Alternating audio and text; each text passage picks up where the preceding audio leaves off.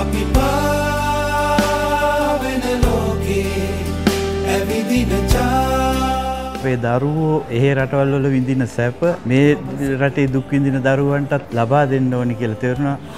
අපි මේ රටේ ඉඳලා වෙන රටවල්ලට ගියාට අවංකවම අපි මේ රටේ ඉන්න කැමති මිනිස්සු මම ලංකාව හොඳ එන්න දවසට ලංකාවට ඇවිල්ලා ඔබත් එක්ක ජීවත් වෙන්න තමයි බලාගෙන ඉන්නේ. මේ පාලකයන් විසින් මේ තත්ත්වයට ඇද දපුරු හින්දා එහෙම නැත්නම් මේ හොඳ රටක් නිර්මාණය කරන්න පුළුවන් නම් රට අත්හැරලා දාලා යන්න. අද එළියට දාපු ප්‍රතිපත්ති ප්‍රකාශනය පැහැදිලිවම කියලා තියෙනවා අපිව දේශපාලන සංවාදයට සම්බන්ධ කරගන්නවා සක්‍රියව කියලා. බොහොම වැදගත් දෙයක් අපිට.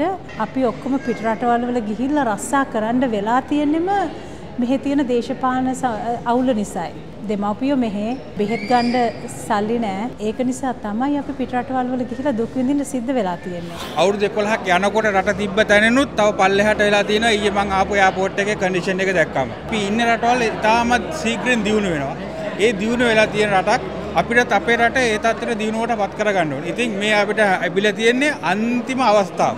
මේ අන්තිම අවස්ථාව තරුණ ඔයගොල්ලන්ට මම කියනවා ඔයගොල්ලන්ගේ උතුම් ඡන්දය මාලිමාවට දීලා අනුර කුමාර සහෝදරයාව ජනාධිපති කළා අපේ රට තව අවුරුදු 5 6කින් ඒ තත්ත්වයට පත් කරගන්න ශක්තිය ධෛර්ය ලැබේවා කියලා